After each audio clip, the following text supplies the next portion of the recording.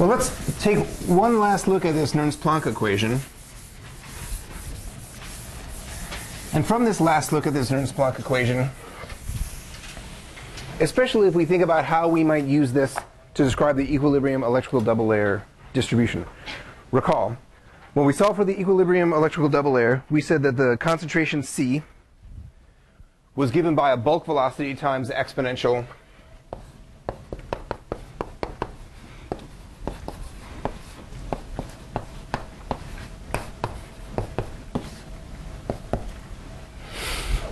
So we said that the local concentration was given by the bulk concentration times the exponential of an electrostatic potential energy normalized by RT.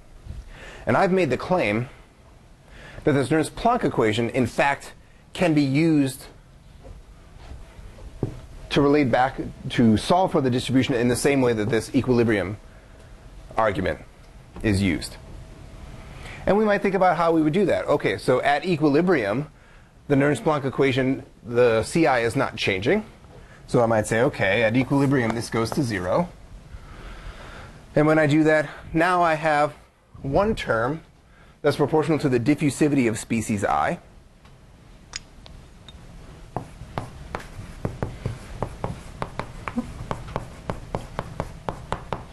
And I have another term that's proportional to the velocity of an ion u. If I'm solving for the electrical double layer, this velocity is actually given only by the electrophoretic mobility times the electric field. And this is assuming that the velocity, the velocity of the fluid, is equal to zero. And that's correct for our static equilibrium description of the electrical double layer.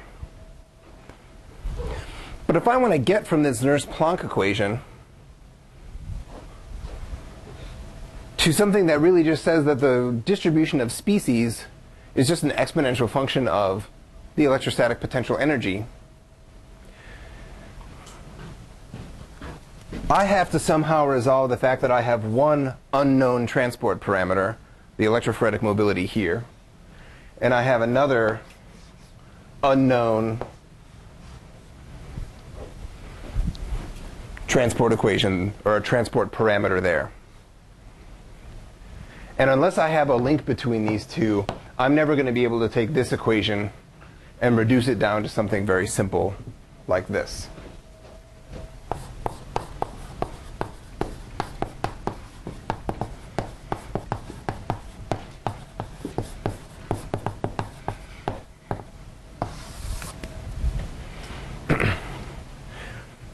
what I need then is I need some description of how the way ions move in response to gradients must be re related to the way they move in response to electric fields, right? Here, I have an ion that's an, an electrostatic energy uh, distribution. When there's a gradient in that electrostatic energy, that electrostatic potential, this thing moves. Here, I have an ion that's in a gradient of species concentration, or more specifically, a gradient of chemical potential. So here I have a description of how things move in an electrostatic potential.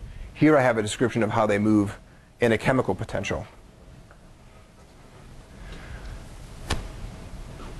If I want to then relate that back to this description, which is basically an equilibrium argument, I need to be able to relate this diffusivity and this electrophoretic mobility.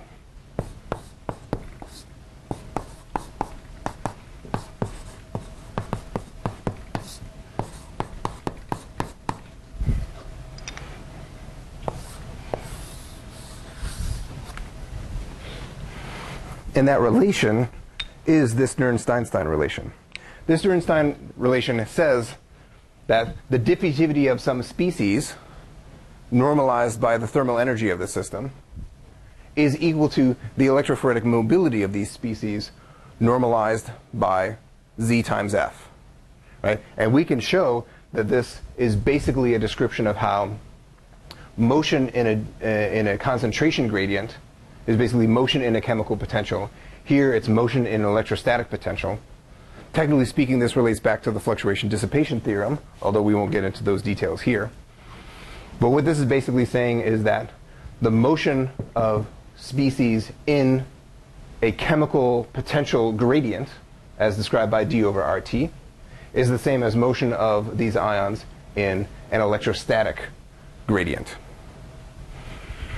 Now, this relation is true only for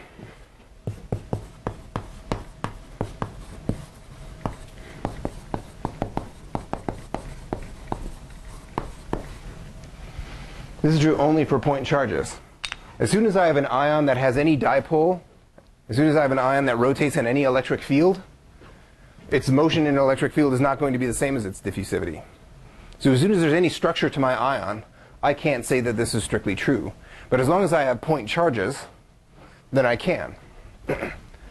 and if I have that relation, I can take this, take the limit where dc dt is equal to 0, and I can derive this expression, or alternately, I can derive our equilibrium description of the electrical double layer. That will be yet another fun homework problem.